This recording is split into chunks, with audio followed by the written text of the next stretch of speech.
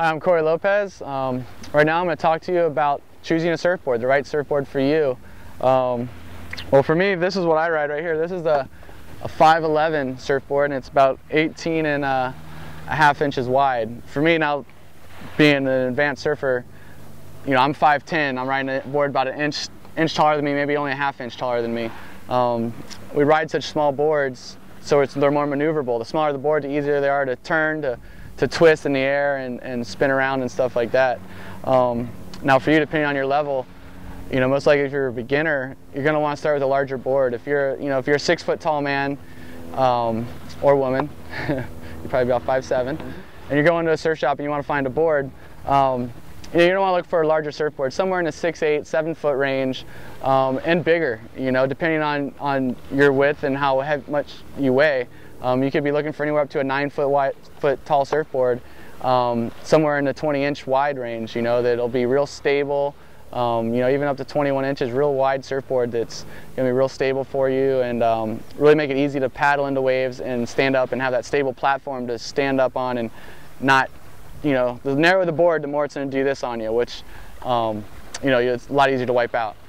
And then of course, the better you get, the smaller board you can ride. Um, so when you walk in a surf shop, make sure if, if you're going in there, it's your first time to buy a board, make sure the local guy doesn't try to sell you some teeny board that he's selling because he's trying to make a sale. Now all surf shops want to make a sale, which is great, but uh, you got to get the boards right for you. So remember, there's always another surf shop down the road that could have the board that you really need. Um, so, you know, for me, if I was going to take someone surfing, and they needed a beginner board, um, I'd probably start them off on a soft top. If they've never surfed before in their life, I'd probably start them off on a nice like 7.6 soft top, really wide, real stable.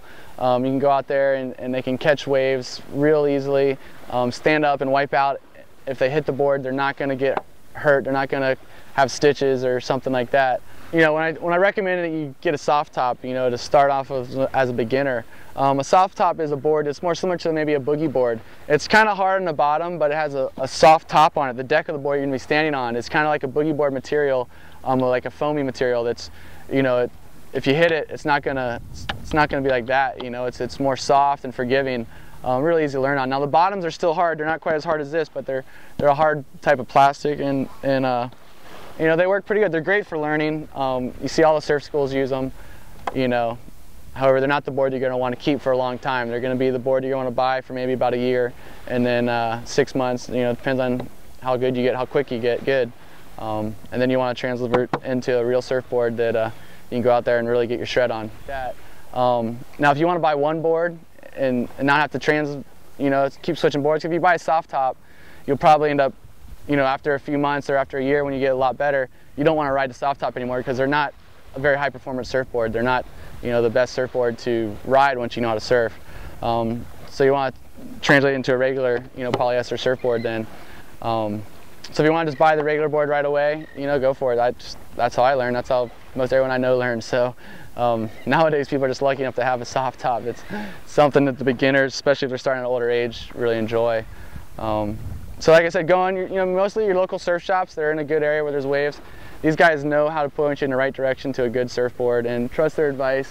Um, but just be a little wary if they're if you're six foot tall and they're trying to sell you a six two or a six four, um, and you're only beginning. That's that's when you got to know when to say no and just uh, you know, find the right board, maybe go to another store and find someone else's advice that can point you in the right direction.